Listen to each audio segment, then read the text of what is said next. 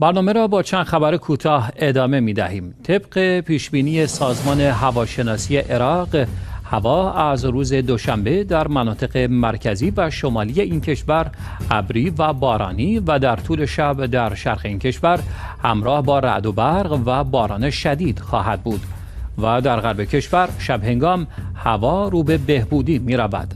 از روز گذشته عراق شاهد کاهش محسوس دمای هوا بود و امید می رود طی روزهای آتی این کاهش دما ادامه یابد.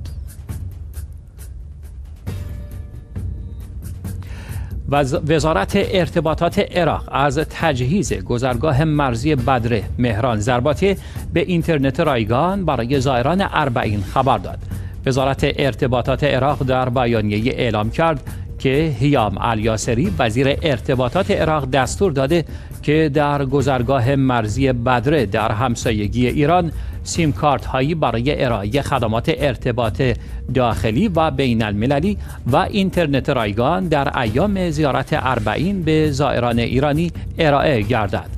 وزارت ارتباطات عراق همچنین از ایجاد و گسترش یک شبکه فیبر نوری موقت که از امتداد مرزها تا مسیرهای تردد زائران اربعین را پوشش می دهد خبر داد.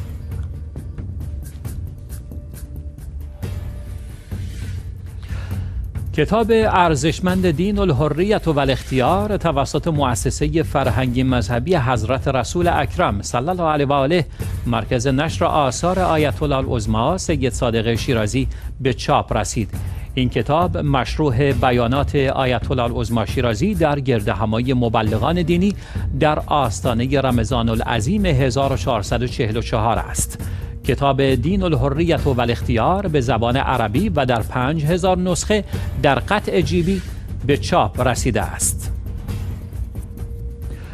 کتاب ارزشمند دین الحریت و الاختیار توسط مؤسسه فرهنگی مذهبی حضرت رسول اکرم صلی الله علیه و آله مرکز نشر آثار آیت الله العظما سید صادق شیرازی به چاپ رسید این کتاب مشروع آیت الله العظما شیرازی در گرد همایی مبلغان دینی در آستانه رمضان العظیم 1444 است. کتاب دین الحریت و الاختیار به زبان عربی و در پنج هزار نسخه در قطع جیبی به چاپ رسیده است.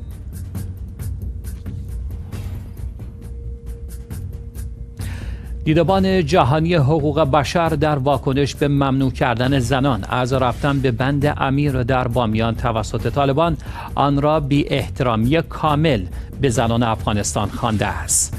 پژوهشگر بخش آسیا در دیدبان جهانی حقوق بشر این کار طالبان را خیلی بد و ناخوشایند توصیف کرده است.